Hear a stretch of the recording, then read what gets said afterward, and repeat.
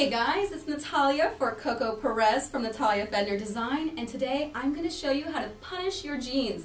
That's right, I did just say punish your jeans because they've been very naughty and you're going to distress them like a pro. All you need is some sandpaper, those naughty jeans, and of course safety pins. Alright, let's get to it. The first thing you're going to do is put on your jeans. I know it's super simple, but you have to figure out where your knees hit the jeans. So you have your jeans on, and now you want to mark where your knees are. Break out those big safety pins, bend your knee, stab it through. Now make sure you don't stab your actual knee.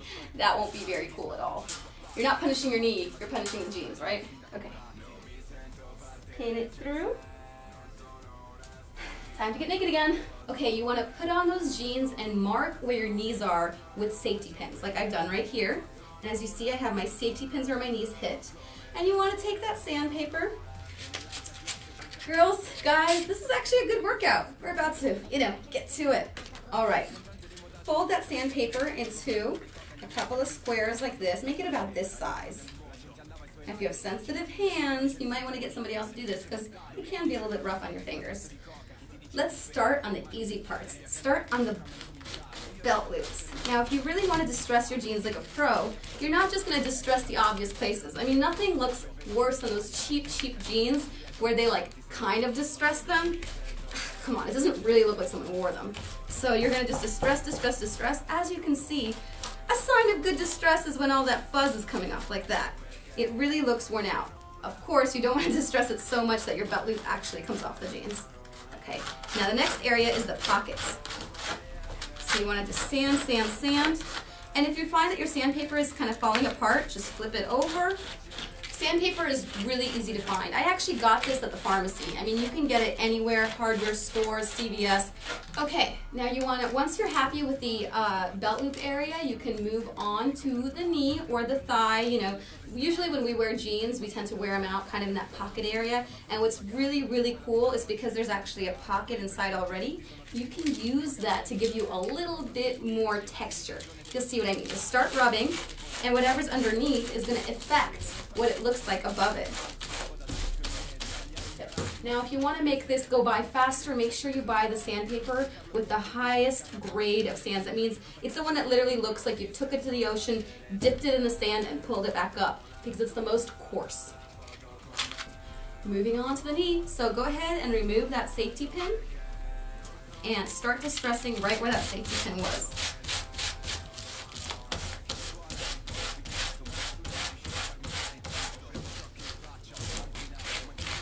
Now as you can see, because I am really going to town on this pair of jeans, it's starting to get that holy look, and I don't mean religion, it's starting to get that holy look in the knee, um, which is really cool. I like that effect, so I'm going to keep doing it, but if you prefer your distress to be more on the mild side of things, it may be a good time for you to stop at this point. All right. Girls, if you're like me and you got some serious thighs, you know that you're not being honest with yourself unless you distress the thigh area.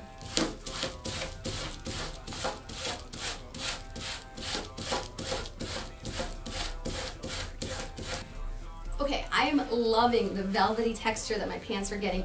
They're also extra soft now. They don't have that awful crisp feeling that brand new over dyed jeans do. So before I finish up, I'm gonna hit the seams because we all know the seams are the things that really get distressed when you wear a pair of pants a lot. So just go, go, go. I'm exhausted, guys, but we're almost done. I see the finish line in sight. Time for the bottom, the cuff of the jeans. You can cut them off if you want, or you can just continue going to town. Going to town, who came up with that phrase? You can cut them off, or you can just continue to sandpaper them. Honestly, if you're having a bad day and you're just really stressed out about something, take your anger out on those naughty pair of jeans. Stupid jeans. Feels so much better. So as you can see, there's nothing wrong with the foreside and is already slightly distressed to begin with. But, you know, when you really want to rock out, you have to get a little bit of sandpaper in there. As you can see, my knee is a little bit holier than it used to be. I feel a bit more edgy.